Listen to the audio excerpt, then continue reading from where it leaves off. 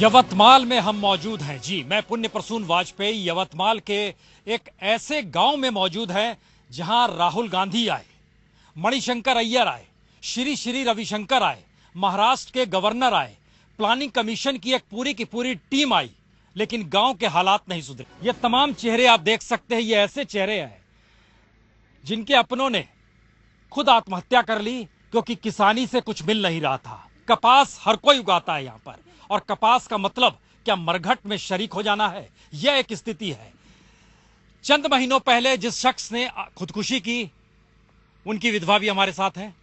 और 2005 में सबसे पहले जो खुदकुशी हुई थी, विनोद नाम था उनका। विनोद नाम था ना?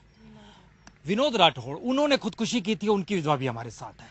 सवाल दरअसल इतने सारे हैं जगहों पर घूमते फिरते आपको नज़र आएँगे, जहाँ यह सवाल छोटा पड़ जाएगा कि इन विधवाओं को लेकर केंद्र में बाकायदा मनमोहन सरकार यवतमाल आते हैं। मनमोहन सिंह खुद आए यवतमाल विधवाओं से मिले पैकेज दिया लेकिन किसे पता था कि दरअसल पैकेज में भी मंत्री और नौकरशाही उसको हड़प ले जाएगी। पाँच हज़ार करोड़ वेस्टर्न विदर्भ के लिए दिया गया और रिपोर्ट सीएजी की बताती है पीएससी की बताती है कि दरअसल वो पैसा भी हड़प लिया गया। राहुल गांधी आए थे राहुल गांधी के पास। गई थी दरअसल आप राहुल गांधी से मिले थे? हाँ। क्या कहा था आपने? आम्हाला पेन्सिल पाहिजे म्हणून सांगू. तो उन्होंने क्या कहा? हो म्हणून सांगितले. देतो म्हणून. देतो म्हणून सांगितले. तर दिलाच नाही. तो उसके बाद क्या हुआ? काहीच नाही. कुछ भी नहीं? हम्म. तो उन्होंने बता होगा कुछ नेता मंत्री कुछ यहाँ के अधिकारी होंगे उनको बोला होगा इनके लिए कुछ व्यवस्था कीजिए। किसी ने कुछ किया? काहीच नाही. कुछ भी नहीं? कुछ भी नाही. राहुल गांधी मिले थे और जो जानकारी निकल कर आई शायद एक साड़ी और पाँच सौ रुपए का नोट दिया गया था। हो। हैं? दिवाळी हो। दिया गया था? हो। एक साड़ी और पाँच सौ रुपए के नोट में। सवाल इतना भर नहीं है। सवाल है देखिए वो महिला जो है वो 2005 में उनके पति ने खुदकुशी की और अभी चंद महीनों पहले ही अब घर कैसे चलता है? काहीच नहीं है आहे काहीच हैं? नाही आहे हज़ार रुपये में नहीं शाळेवर जाते फक्त खिचडी से शिजाली बस। तो एक बच्ची है? दो है। दो बच्ची है? हम्म. अच्छा। एक तीन साल की आहे एक तीन साल की है। हो. काहीच दिसत नाही आपके पति ने कब खुदकुशी की? थी कर्जामुळं हाँ? कर्जामुळं आत्महत्या केली. अच्छा. तो उसके बाद सरकार ने कुछ दिया किया कुछ? काहीच नाही. कुछ भी नहीं? काहीच नाही. क्यों की थी खुदकुशी? तर काही आता काय कशी मजुरी करायला लागते? आणि खाणं आहे. अच्छा. हो. तो कुछ भी मिला नहीं उसके काहीच नाही. आपके साथ भी कुछ भी नहीं? नाही मिला. कुछ भी नहीं? काहीच नाही सवाल सिर्फ़ इन चेहरों को पढ़ने का नहीं है। सवाल इस बात का है कि कपास की खेती के लिए जो पानी चाहिए, वो पानी यवतमाल में नहीं है, उस रूप में नहीं मिलता है। दूसरा, जो कीमत चाहिए बाज़ार से, कपास बेचने के बाद जो कीमत चाहिए, वह कीमत नहीं मिलती है। किसान कहाँ से चुकता करे, पैसा कहाँ से लेकर आए? सरकार की तरफ़ से कभी कुछ मिला या कुछ राहत हुई? चाहिए क्या आप लोग को? क्या चाहते हैं? मग मराठी आहे आप बताइए क्या सरकार की तरफ़ से कभी कुछ? कुछ नहीं मदद नहीं। कुछ भी मदद नहीं? नहीं कुछ नहीं। कुछ नहीं मिला। कुछ भी नहीं मिला? हाँ। धंधा काम नहीं होत कुछ नहीं होत दो दुनिया में। वो मजदूरी करती हम खाती इस गाँव में 22 परिवार ऐसे हैं जिन्होंने खुदकुशी कर ली। तो आप लोग को क्या लगता है कुछ? मजदूरी। क्या लगता है? खाए लगता सब लगता है खाने पीने को। चाय पानी सब लगता है। आपको लगता है सरकार से आप लोग क्या चाहते हैं? आखिर में कि सरकार को क्या करना चाहिए? क्यों नहीं समझ पाती है सरकार? सरकार सरकार ने कुछ दे दिए नहीं ना मेरे मदद को। नहीं मिली ना मेरे को। मदद नहीं मिल रहे हमको तो साड़ी नहीं मिली ना कुछ नहीं मिला पैसा नहीं मिला कुछ नहीं मिला मेरे को। कुछ भी नहीं मिला। कुछ ही नहीं मिला। दरअसल राहुल गांधी आए थे तो देखिए सरपंच भी हमारे साथ हैं। आपकी राहुल गांधी से मुलाकात हुई होगी? हाँ, हुई क्या कहा गया था? राहुल गांधी जब आए थे उनके साथ मार्गारेट अलवा भी थी। राहुल गांधी ने कलेक्टर को बुलाया था और राहुल गांधी ने बोला था कि जो कुछ लोकल लेवल के प्रॉब्लम है ये कलेक्टर को बोला था कि ये सब प्रॉब्लम आपके सॉल्व कर दूँगा। लेकिन हाँ। कुछ हुआ? लेकिन एक भी प्रॉब्लम सॉल्व नहीं हुए तो फिर उसके बाद क्या हुआ?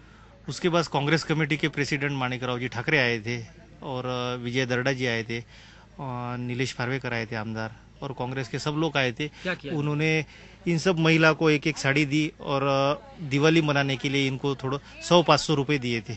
उसके अलावा इनके लिए ठोस जैसा ये सुसाइड वाले वीडियोज़ ने बोला था कि हमको पेंशन होना और जो कुछ अदर फैसिलिटीज़ है किसानों के लिए वो फैसिलिटीज़ जो सुसाइड वाले फैमिली है उनको दे ऐसा इनका ये था वजह था लेकिन उसमें से एक भी कोई प्रॉब्लम सॉल्व नहीं हुआ। किसान कार्ड है आपके पास? किसान कार्ड है? कार्ड बाबा। कार्ड है किसान वाला? हा हाँ पासबुक है? हाँ हाँ। उस पर भी कुछ मिला नहीं बैंक से कोई पैसा नहीं। हं, हं, हं. नाही आपके पास भी किसान कार्ड है? नहीं है। पासबुक? है। है। हाँ।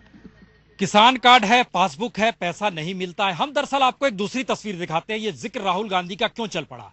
राहुल गांधी जलका गाँव यवतमाल में ही आता है, जहाँ कलावती से मिले थे।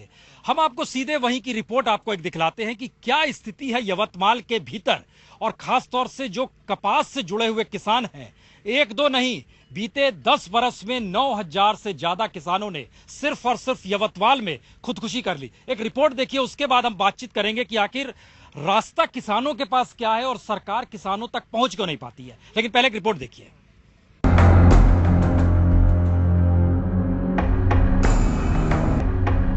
दो बूंद पानी, जी। लेकिन जिस जगह पर हम खड़े हैं, यहाँ सवाल दो बूंद पानी का नहीं है, यहाँ सवाल किसानों की, खुदकुशी का है। हम वहाँ पहुँचे हैं यवतमाल, और यवतमाल में भी जल का गाँव। ये वही गाँव है जहाँ राहुल गांधी की कलावती रहती है, और इस जगह पर भी दर्जनों खुदकुशी हुई है। दरअसल हैरत की बात यह है कि देश का एक ऐसा जिला है ये यवतमाल, जहाँ सबसे ज़्यादा किसानों ने खुदकुशी की, और सिर्फ़ दो बूंद पानी का सवाल नहीं। बल्कि किसानों के पास कुछ भी नहीं है। खाने के लिए कुछ नहीं, मजदूरी करते हैं, उससे पेट नहीं भर पाता है। ऐसे में पानी की बात क्या की जाए, इस जगह पर घुसकर। तो आइए जल का गाँव चलते हैं और जरा टटोलना शुरू करते हैं। उस सच को, जो सच सरकार के पन्नों में नज़र नहीं आता है, लेकिन शायद आज कैमरा पकड़ ले कि स्थिति है क्या और त्रासदी इस देश की है क्या।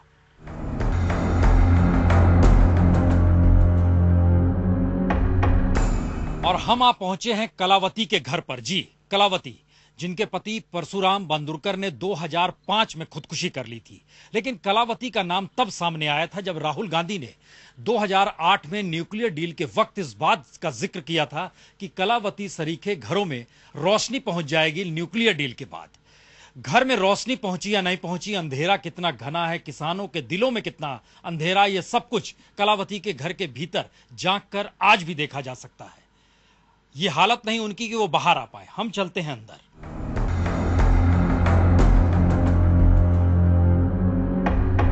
कलावती इस हालत में नहीं है कि वो बैठ भी सके। ज़मीन पर ही बैठी है। कलावती कसी तबीयत आहे तुमची? कालपासून कमरले मान बासून लकवा मारल्या चांगला लागत आहे उठता बसता येत नाही आहे तर. तो तुम्ही याद आहे राहुल गांधी कौन है राहुल गांधी आपला भाऊ आहे. भाऊ आहे. हो. राहुल गांधी में प्रधानमंत्री बनने वाला लायक है गुण है? हो। हो असं हो आहे वो है। हो। प्रधानमंत्री देश के बनने लायक है? लायक आहे है। आहे तो राहुल गांधी चे नरेंद्र मोदी कौन बढ़िया है? मोदी। नरेंद्र मोदी गुजरातचे मुख्यमंत्री या राहुल गांधी काँग्रेसचे नेता? कौन बढ़िया? कौन कौन चांगला? राहुल गांधी। राहुल गांधी। तो तुम्हें इतना कष्ट में आए इतना कष्ट है डॉक्टर उक्टर कुछ नहीं बोले लकवा मार दिया है तो फिर घर वर कैसे चलेगा? देगा सुलभ से। किसान की हालत क्या चंगला है? किसानों की हालत की कैसा है? किसान की हालत में म्हणजे मला समजलं शेतकऱ्याची परिस्थिती. आहे? शेतकऱ्याची परिस्थिती का आता व्यवसाय पाणी हे करते ना शेतकऱ्याची परिस्थिती खूप डाऊन आहे ती. ये एक स्थिति है कलावती की लेकिन सच यह है कि कलावती सरीखी भाग्यशाली महिलाएँ ना जालका में है ना यवतमाल में है। यवतमाल का सच है क्या? चलिए इस घर के बाहर चौखट से निकलते हैं तब आपको दिखलाते हैं।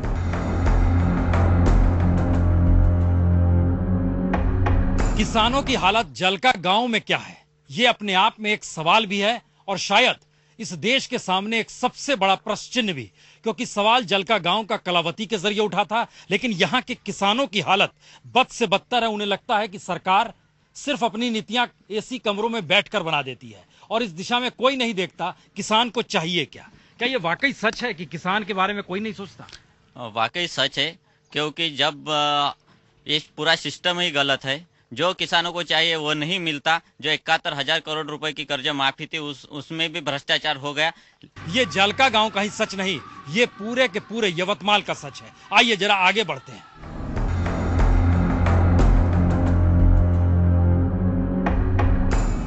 यवतमाल में 70 फ़ीसदी ज़मीन पर सिर्फ़ कपास ही उगाया जाता है।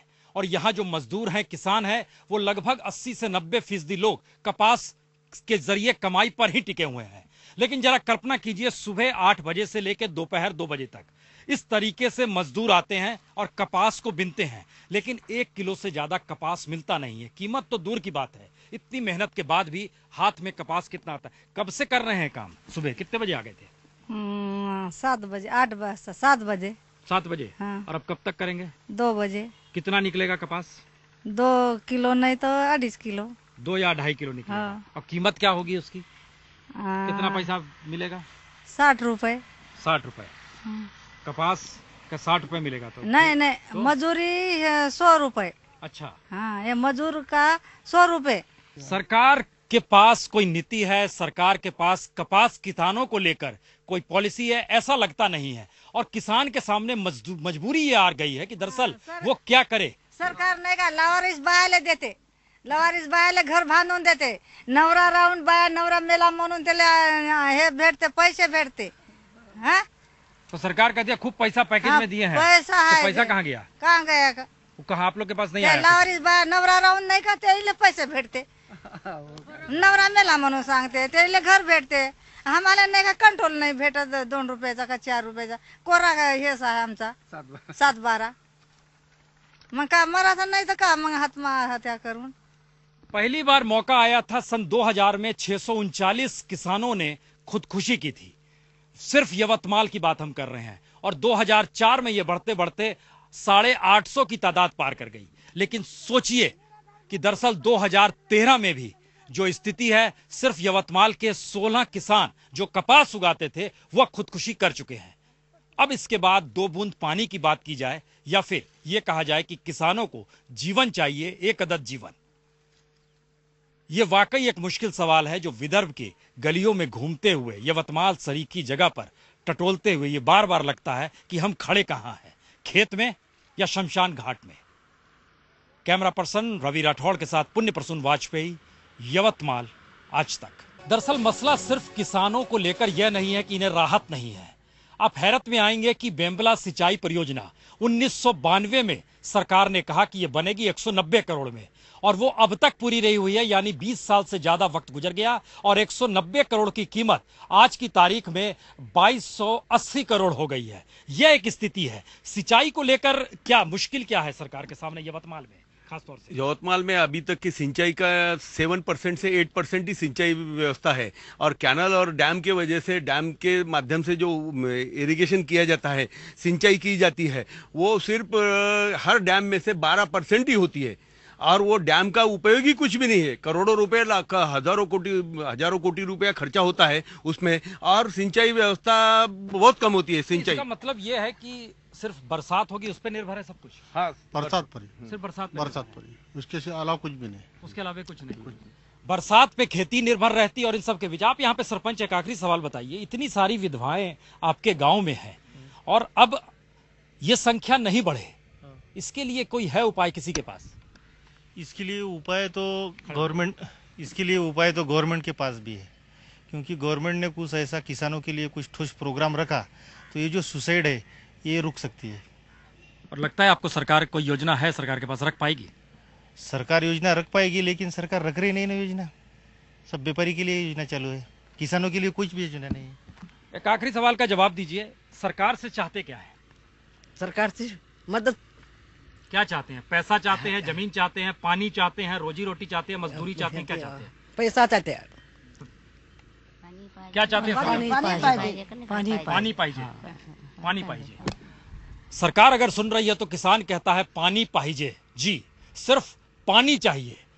पानी दे दीजिए, बहुत कुछ हो जाएगा।